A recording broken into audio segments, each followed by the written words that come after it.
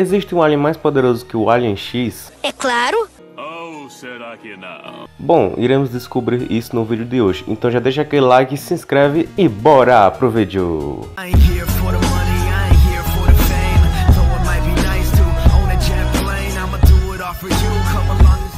Bom galera, para descobrirmos de uma vez por todas se existe ou não um alien mais poderoso que a raça dos sapiens celestiais, vamos dividir em três hipóteses. A primeira é a espécie Naligians.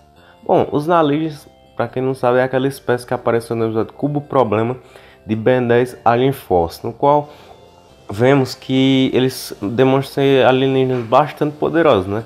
Já que eles construíram o Destruidor Naligian, né? Que é uma arma que é apenas um brinquedo na verdade, só que ele tem tecnologia que supera muito o Omnitrix.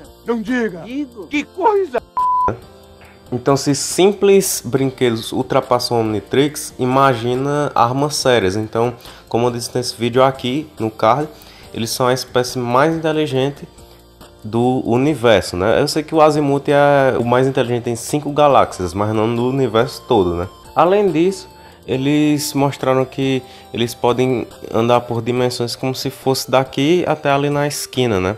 Não tem muita dificuldade, como se eles fossem normal para ele andar em dimensões. E eles podem se teletransportar e eles também têm uma telecinese bem avançada, diga-se de passagem.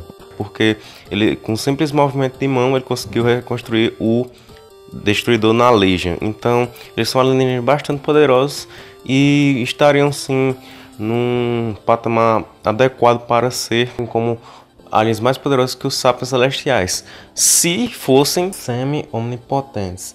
Mas por que eu afirmo com toda certeza que eles não são semi-omnipotentes? Porque simplesmente pelo fato de que um da espécie dele foi para a Terra pegar o brinquedinho do filho dele. Tipo, os sapiens celestiais né, são seres que moram no centro da criação. Eles não se importam com nada do resto do universo. Aí vamos dizer que um sapio celestial perdeu um brinquedinho dele lá na Terra. Vocês acham que ele, que ele vai lá e vai pegar? Se ele é, é semi-onipotente, ele poderia muito bem só piscar e o brinquedo ia aparecer lá, de boa. Ele não ia precisar ir pra lá, pra Terra, porque ele, ele não ia gostar né, de sair do cantinho dele só pra ir pra Terra pegar um negócio, sendo que ele é todo poderosão né? A única vez que os sábios celestiais eles foram para a Terra por causa de um assunto, né, tá, tinha se tratar lá, foi quando no em Universo Contratância, né, por causa que o Ben tinha reconstruído o universo sem a permissão dos sábios celestiais. Então, o Starberg ele decidiu, né, ir para Terra. Tipo, ele poderia muito bem ter apenas piscado e feito com que o Ben pagasse a penalidade, mas não. Os sábios celestiais devem ter decidido, né, porque já que todo, eh, tudo que eles fazem é questão de decisão, né? Debater com as personalidades, e aí eles decidiram ir para a Terra, até porque é um assunto celestial, né? Se fosse apenas um brinquedinho, lógico que eles não precisariam ir para a Terra pra, só para pegar, mas como era um assunto celestial, teve que fazer todo um tribunal para todo mundo decidir se o bem ia ser penalizado ou não, o que, é que ia acontecer. Então, tá, tá certo eles irem. Agora, então, por que, é que os na, o Naligen ele não fez isso, né? Tipo, ele poderia muito bem piscar e o brinquedo aparecer lá. Mas muitos poderiam dizer, ah, Daniel, foi porque ele quis ser humilde, né? Aí ele quis ir lá na Terra para ter a sensação de sair do seu canto e, e viver uma aventura até, até ir pra, chegar lá na Terra. Mas pensa aí, se ele, se ele fosse semi-onipotente, se fosse omnipotente, enfim, fosse mais forte que o Alien X, essa, era só ele piscar e aí ele ia sentir esse- essa sensação, tá entendendo? Ele não pode fazer tudo, ele poderia muito bem eh, sentir a sensação de, de viver essa aventura de ir lá pegar, mesmo sem ir, porque ele é semi-onipotente. E outra coisa, ele poderia muito bem, mesmo se ele tivesse ido, né? E ele tivesse explicado tudo lá pra galera, tipo, se ele fosse omnipotentão, era só ele piscar e fazer com que todo mundo entendesse sem ele ter que falar tudo aquele negócio, entendeu? Então não, os Naligens não são mais poderosos que os sapos celestiais. Não diga! Digo! Que coisa! A segunda hipótese seria os contumélios. que galera, vamos parar pra pensar. A resposta tá na cara, na própria série já é mostrado isso. Bom, em um novo amanhecer, os contumélios, tá certo que eles criaram o universo, né? com a ajuda do Nick Larg lá e tal. Mas eles disseram assim: Aquele campo dimensional extra nos protege de liberação iminente de energia. É impossível rompê-lo ou desligá-lo. Só que aí o Ben, ele se transformou no cromático e o Skurd deu o, a espada X, que é a espada com o DNA Sapiens Celestial. Os caras tinham dito que não era, não, não, era possível destruir aquele negócio de a pau. O Ben só chegou lá com a espada do Alien X, cortou, pronto, tchau. Como é que eles são mais poderosos que o Alien X? Eles nem conseguiram cortar aquele negócio, tá entendendo? Até porque, ah, eles criaram o universo, sim, mas os celestiais foi dito na própria série pelo professor Paradoxo que os sapos celestiais não fazem parte do universo, eles vivem no centro da criação, que faz parte do multiverso Ben 10, mas não no universo, entendeu? Peraí, eu pensei que o universo fosse tudo. Um erro comum de uma mente limitada. Há muito mais na realidade do que alguém pode imaginar. Então tem todo esse negócio, né, de que o centro da criação não fica lá né, no, no universo em si, mas sim no multiverso e apenas alguns sapos celestiais vivem na Via Láctea, tá entendendo?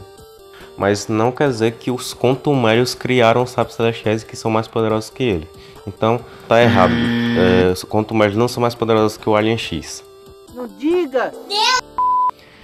E a terceira e última hipótese seria baseada aí no que o Darwin McDuff falou quando ele estava vivo, né? Ele tinha falado, né, respondendo uma pergunta, se o Alien X é o alienígena mais poderoso do Omnitrix, ele tem dito que não. Que mesmo ele não, ele sendo um alienígena com poderes ilimitados, ele não é o alienígena mais poderoso da corrente Codon. Beleza, então a gente poderia dizer assim, ah, mesmo que ele tivesse morto, né, mas os, os, os criadores, né, que ficaram ainda, permaneceram, poderiam dar continuidade à ideia. Então, em Omniverse, como eles colocaram o negócio dos predadores, então eles poderiam ter colocado um predador para o Alien X para ser o alienígena mais poderoso da, do Omnitrix, né? Já que, tipo assim, mesmo que ah, o Alien X é semi-onipotente, como é que ele ia ter um predador? Sim, era só ser aquele negócio balanceado. Tipo, um, um poderia derrotar o outro, a presa poderia derrotar o, o predador e o predador a presa. Eu tomo em conta né, o armato, porque o armato ele pode vencer o vermônico, né? Mesmo ele, ele sendo a presa do Vermônico, ele ainda pode vencer. E, e o contrário também, é lógico. O Vermônico pode vencer o Armado. Então, com o Predador do Alien X parece ser a mesma coisa, a mesma ideia. Só que para ele ser Dominatrix, ele teria que ser, claro, racional. Assim como o Vômpiro, né, que é um predador, ele é um Vladat, que são os predadores dos transilianos, né, a espécie do Frankenstein, e ele tá no Omnitrix. Então, da mesma forma, o, o possível predador do Alien X poderia estar no Omnitrix. E bom galera, mas se fosse para ter um alien mais poderoso que o Alien X mesmo, é, para ser uma divindade, um deusão, uma divindade suprema, né? Ele deveria ser na mesma vibe aí de outras mídias como a Marvel, a DC, né? Que na Marvel tem o Toa, né?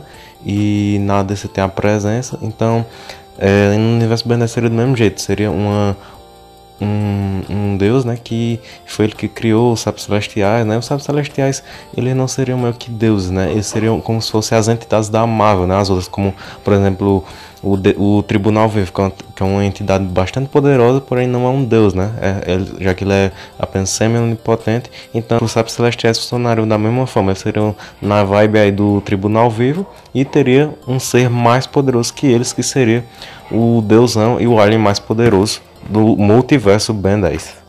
Essa seria uma ideia bem interessante, né? Porque assim, é, eu não diria que, ah, se, beleza, existe um deus aí do multiverso Ben 10, né?